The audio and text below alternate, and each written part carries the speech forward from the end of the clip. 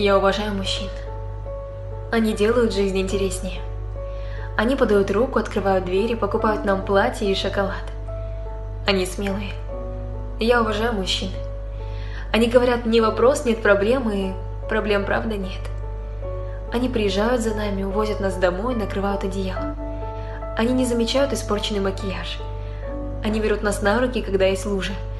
Они думают, что мы маленькие и нас нужно обнимать. Они правы.